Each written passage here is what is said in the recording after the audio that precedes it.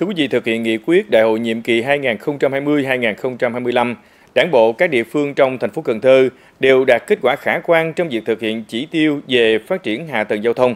Đây là điều kiện để các địa phương thúc đẩy kinh tế xã hội phát triển, góp phần hoàn thành tốt các chỉ tiêu, nhiệm vụ của cả nhiệm kỳ đại hội. Cùng với triển khai thực hiện các chỉ tiêu mà nghị quyết đại hội đã đề ra, Đảng bộ các địa phương đã tập trung nhiều nguồn lực để đầu tư nâng cấp cải tạo kết cấu hạ tầng giao thông và xem đây là tiêu chí quan trọng hàng đầu để phát triển kinh tế xã hội ở từng địa phương. Cơ bản là các cái tuyến đường của quận, tuyến đường trung tâm thì kia thì hiện nay cũng đang à, thực hiện các cái công trình, các cái dự án thì coi như là đã được triển khai. Quận ủy và phía ủy ban thì cũng à, đang tập trung à, kiểm tra rồi đôn đốc rồi nhắc nhở các cái nhà thầu, các cái đơn vị thi công làm sao mà nó đạt theo cái tiến độ của à, quận à, chỉ đạo. Các khu vực à, đều có gà sót lại những cái tuyến đường, tuyến hẻm à, còn à, Ờ, đang ờ, khó khăn như là xuống cấp nè, ngập nghẹt trong mùa mưa nè ờ, thì đều có thứ nhất là những cái công trình nào thuộc nhà nước làm thì kiến nghị đẩy nhanh tiến độ công trình nào thuộc, thuộc người dân xã hội hóa để đóng góp thì có cái sự tuyên truyền vận động để nhân dân cùng tham gia. Đã phối hợp rất tốt với phòng quản lý đô thị để thực hiện triển khai nâng cấp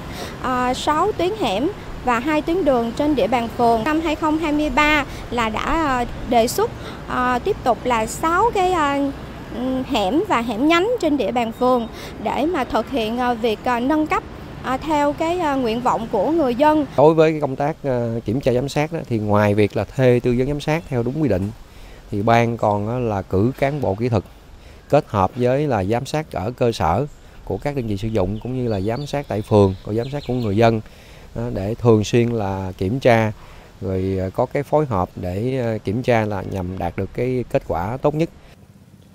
Cùng với khảo sát, lập kế hoạch nâng cấp tu sửa các tuyến đường, tuyến hẻm, vừa phục vụ cho giao thông đi lại, phát triển kinh tế xã hội, đảm bảo đời sống dân sinh,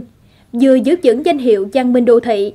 các quận quyện đã tập trung dồn sức để triển khai thực hiện kế hoạch đề ra.